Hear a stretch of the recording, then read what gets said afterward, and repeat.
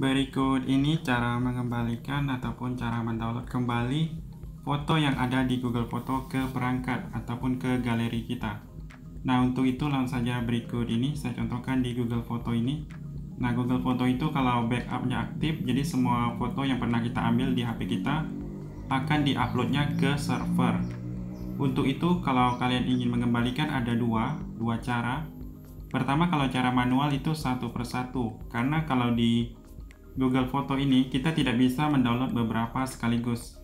Nah, tidak ada pilihan download, cuman ada arsip, edit lokasi, dan di sini tidak ada yang namanya download sama sekali. Jadi kalau kita ingin menyimpan atau mengembalikan satu persatu, kalian harus pilih yang namanya fotonya, pilih icon tiga titik. Nah, di sini ada pilihan download.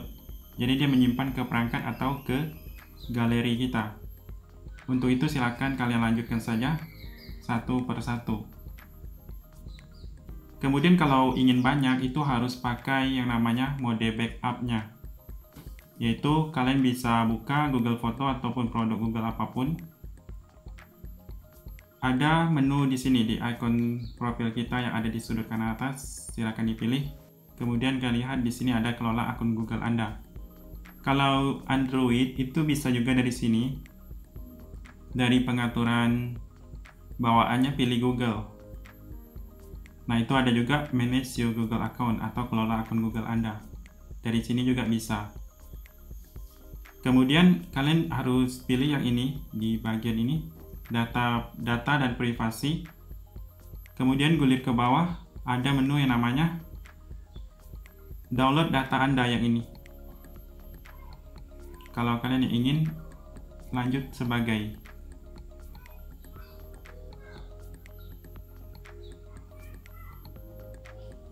Kemudian lihat di sini batalkan semua pilihan. Nah, kita cari yang Google Foto saja. Pilih Google Foto yang ini. Ini ada semua album disertakan, ada beberapa format di sini bisa kalian pilih. Nah, ini yang mendukung. Kita pilih yang Google Foto.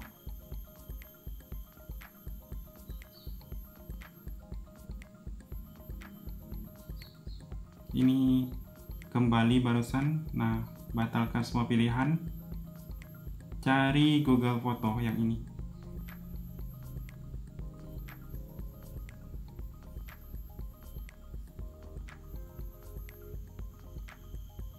Jadi pilih Google Foto centang kemudian baru gulir ke bawah pilih langkah berikutnya. Nah sekarang kita bisa lihat ada ekspor satu kali atau dijadwalkan. Entah dua bulan sekali atau satu tahun Kemudian silakan pilih formatnya mau zip ataupun TGZ.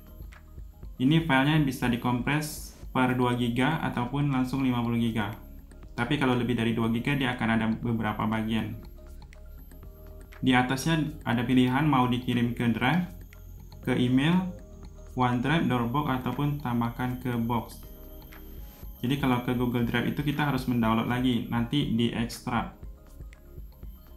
Nah, pilih buat ekspor. Kemudian kita harus memasukkan sandi dari akun Google-nya. Setelah itu, kalian pilih berikutnya. Kemudian di sini, sebelum Anda menjalin data Anda ke layanan lain, periksa kebijakan ekspor. Ekspor sedang berlangsung. Di sini pilih buat ekspor baru untuk ekspor yang baru. Nah, kalau sudah selesai biasanya itu ada notif. Jadi kita langsung buka saja ke Google Drive. Kalau kalian punya Google Drive, download dulu. Atau bisa buka via browser. Cari Google Drive. Kalau tidak ada, silakan download di Play Store atau App Store bagi pengguna iPhone kemudian buka Google Drive-nya. Kalau file foto kalian besar biasanya butuh beberapa jam supaya file zip-nya muncul seperti ini. Kalian pilih file zip-nya.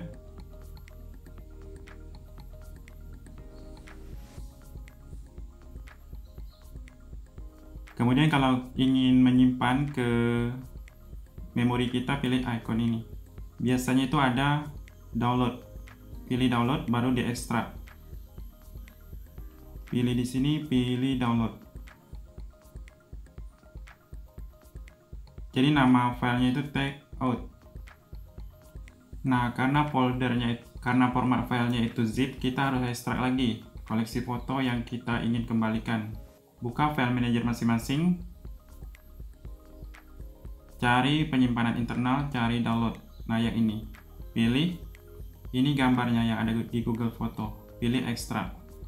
Kalau kalian browsernya maksudnya file manager yang tidak ada fitur ekstrak seperti ini pakai yang namanya zarchive zarchive ini file zipnya bisa dihapus kalau ingin dihapus jadi selesai. Nah yang ini. Koleksi foto kita yang kita download dari Google Foto. Bisa kita kembalikan